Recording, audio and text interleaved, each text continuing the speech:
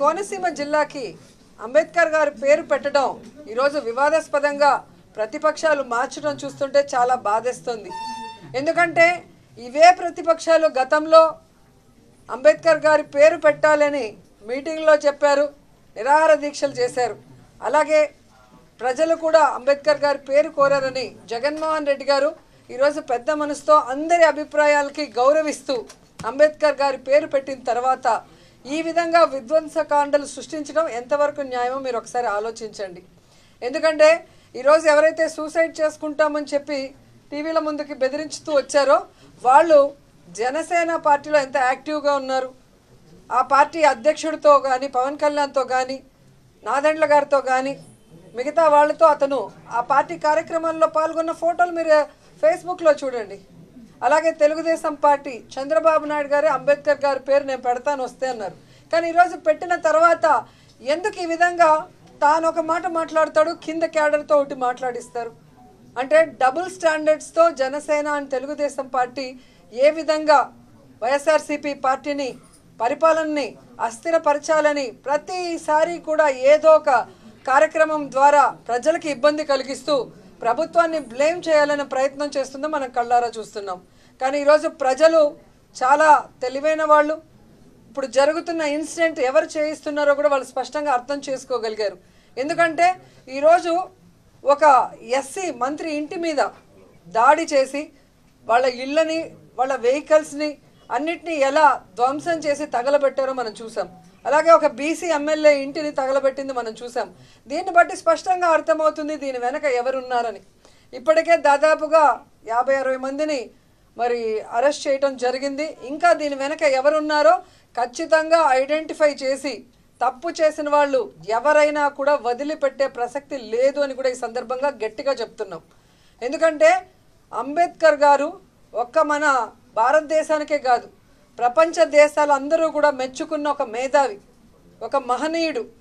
ఆయన బోధల్ని యూనివర్సిటీలో పాఠ్యాంశాలుగా పెట్టుకున్నారు. ఈరోజు మనం స్వేచ్ఛగా ఉన్నాం. మన హక్కులు మనం కాపాడుకోగలుగుతున్నాం. మనం ఇలా అందరం ఉన్నాము అంటే దానికి కారణం ఆయన రచించిన రాజ్యాంగం. అలాంటి గొప్ప వ్యక్తి పేరు పెట్టినప్పుడు ఇలా గొడవలు చేస్తున్నారు అంటే అది ప్రజలు కాదు. ఖచ్చితంగా దాని వెనక ఎవరున్నారనేది మీకు అర్థమైంది. ఇప్పటికే కొంతమందిని అరెస్ట్ చేయడం జరిగింది.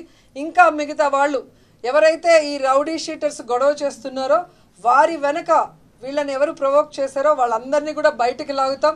ఖచ్చితంగా అందరికీ బుద్ధి చెప్తాం. అండ్ పవన్ కళ్యాణ్ గారికి ఈరోజు నేను చెప్పదలుచుకున్నది ఒకటే. చంద్రబాబు నాయుడు గారు ఇచ్చిన స్క్రిప్ట్ని ఆయన ఇచ్చిన ప్యాకేజ్ కోసం మాట్లాడటం కాదు. మీకంటూ ఒక విలువ మీ క్యాస్ట్లో ఉన్నప్పుడు వాళ్ళకి మంచి జరిగే విధంగా మీరు మాట్లాడాలి కానీ గతంలో అపోజిషన్లో తుని సంఘటన మేమే చేయించామని మాట్లాడారు. మరి ఐదేళ్ళు అధికారంలో ఉన్నప్పుడు తెలుగుదేశం పార్టీ వాళ్ళు ఎందుకు మేము తప్పు చేస్తుంటే మా మీద కేసులు పెట్టి మమ్మల్ని లోపల వేయలేదని నేను అడుగుతున్నాను. అలాగే ఈరోజు అధికారంలో ఉండి మేమే చేయించాము ఈ కోనసీమ ఇన్సిడెంట్ అని చెప్తున్నారు. అంటే మీరు ఆలోచించి మాట్లాడుతున్నారా లేదా ఇచ్చిన స్క్రిప్ట్ గురించి మాట్లాడుతున్నారా? నాకు చెప్పాల్సిన అవసరం ఉంది. అలాగే అచ్చెం నాయుడు గారు మాట్లాడేది వింటుంటే చాలా హాస్యాస్పదంగా ఉంది. తిరుపతి ఎన్నికల్లో ఏమో తిరుపతి ఎంపీ ఎలక్షన్ అయ్యాక పార్టీ లేదు బొక్క లేదని టీడీపీని ఆయనే మాట్లాడాడు. ఈరోజు మళ్ళీ చంద్రబాబు నాయుడు దగ్గర మెహర్బానీ కోసం ఆయన మాట్లాడుతున్నది మనం చూస్తున్నాం. అంటే ప్రజలకి ఇబ్బంది పెట్టే కార్యక్రమం ఏదైనా మీరు చేయాలనుకుంటే మాత్రం జగన్మోహన్ రెడ్డి గారు కానీ ఎవరు సహించే పరిస్థితి లేదు. ప్రజలకి నేను విజ్ఞప్తి చేసేది ఒకటే. మీరు భయభ్రాంతులకి గురవ్వాల్సిన అవసరం లేదు. అదనపు బలగాల్ని దించడం జరిగింది. ఈరోజు పోలీసులు దెబ్బలు తింటున్నారు. ఎవరైతే ఈ విధ్వంసకాండ చేస్తున్నారో వాళ్ళు పోలీసులను ఏ విధంగా కొట్టి గాయపరిచారో కూడా మనం చూసాం. అయినా పోలీసులు చాలా ఓర్పుతో వ్యవహరిస్తూ ప్రజలకి ఎక్కడ ఇబ్బంది కలగకుండా వాళ్ళ సేఫ్టీ కోసమే వాళ్ళు పనిచేస్తున్నారు ఇప్పుడు అదనపు బలగాలు కూడా దించారు. అండ్ అన్ని వెహికల్స్ ఇళ్ళు కూడా సీరియస్గా సెర్చింగ్ చేస్తున్నారు. కాబట్టి మీరు ఎవరు భయపడాల్సిన పరిస్థితి లేదు. సో మీరు ఇది జరుగుతున్నది ఎవరు చేస్తున్నారు ఎందుకు చేస్తున్నారు అనేది మాత్రం గమనించి భవిష్యత్తులో వాళ్ళు మీ దగ్గరకు వచ్చినప్పుడు ఓట్ల కోసం వాళ్ళ మూతి పగిలిపోయేలాగా మీరు బుద్ధి చెప్పాలని ప్రజల్ని కోరుకుంటున్నాను. అండ్ జగనన్న ఖచ్చితంగా ఈరోజు దావోస్కి మన రాష్ట్ర అభివృద్ధి కోసం పోయారు. ఈరోజు ఏ విధంగా పెట్టుబడులు తీసుకొచ్చి ఇక్కడున్న యువతకు ఉద్యోగ అవకాశాలు ఇస్తూ మన రాష్ట్రాన్ని అభివృద్ధి వైపుకు నడిపించాలన్న ప్రయత్నం చేస్తున్నారో మనం అందరం చూస్తున్నాం. సో జగన్ గారు దావోస్కి వెళ్ళారు కాబట్టి ఇప్పుడు మనం ఏం చేసినా జరిగిపోతుంది అనుకుంటున్నారేమో. జగనన్న ఎక్కడున్నా కూడా ఆయన దృష్టి అంతా కూడా ఆంధ్రప్రదేశ్ మీదే ఉంటుంది. ఇక్కడ ఎవరైనా ప్రజలకి ఇబ్బంది కలిగించే విధంగా అలాగే ప్రభుత్వానికి చెడ్డ పేరు తేవాలని విధ్వంసాలు సృష్టిస్తే మాత్రం సహించే పరిస్థితులు ఆయన లేరు అనేది కూడా తెలుసుకోమని చెప్తున్నాను